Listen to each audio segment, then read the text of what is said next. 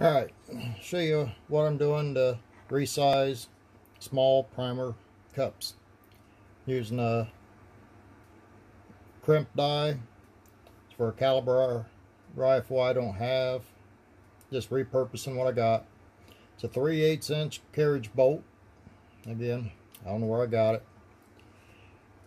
I ground a small dimple into the carriage bolt that's going to form a dome into our primer cup and that's going to give us a little more area between the cup and the anvil. Give us a little bit better success rate. We got more compound in that pinch zone.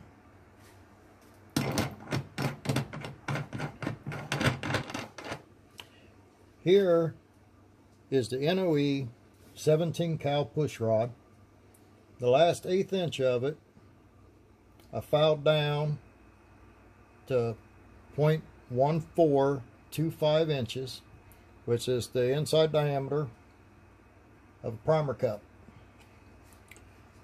Now this cup has been fired. You can see the dimple on the outside. On the inside, you can see a little nipple sticking up where the firing pin pushed it into the primer compound. What we need to do is remove that little nipple on the inside and get everything back. So we'll put that on top of the ram. This is the NOE B173 sizing die. I've got a thick washer that I've taped to the top of it because I got tired of chasing it every time I dropped it.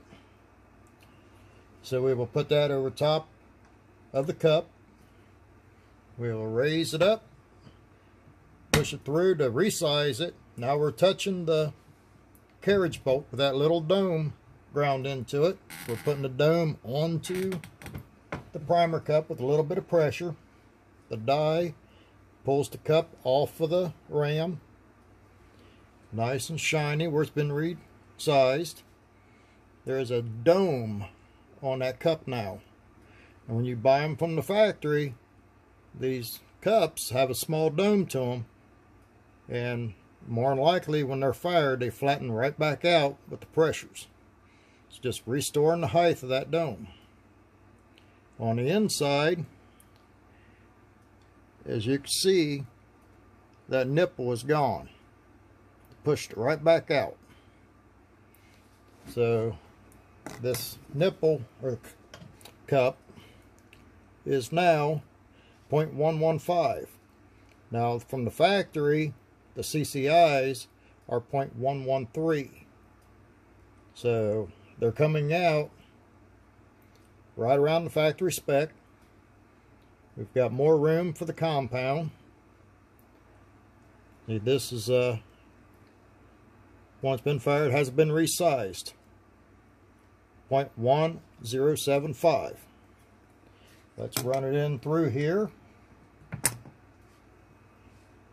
Die back on.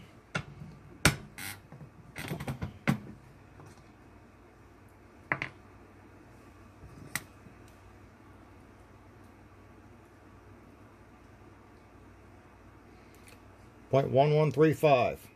Right there it is. We just added back to factory. So we've got more compound in that pinch zone. So there we go.